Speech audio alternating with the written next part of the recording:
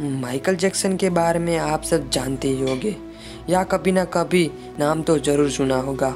Michael Jackson लोकप्रिय अमेरिकी pop गायक थे, जिन्हें किंग ऑफ़ पॉप भी कहा जाता था, जिन्होंने मात्र 11 साल की उम्र में ही व्यावसायिक रूप से गायकी जो है आरंभ कर ली थी। पर क्या आपको पता है कि फैक्ट यह है कि जब उनकी मौत हुई थी मतलब कि 25 जून 2009 को उनकी मौत हुई थी और उनकी मौत को करीबन 2.5 बिलियन लोगों ने लाइव देखा था। तो यह दुनिया का सबसे ज़्यादा देखे जाने वाला ब्रॉडकास्ट है। तो वीडियो आपको पसंद आया तो वीडियो को लाइक कीजिए और हमारे चैनल पर ऐसे ही फैक्ट के बारे में बताते रहते हैं। तो हमारे चैनल को सब्सक्राइब कीजिए। Thanks for watching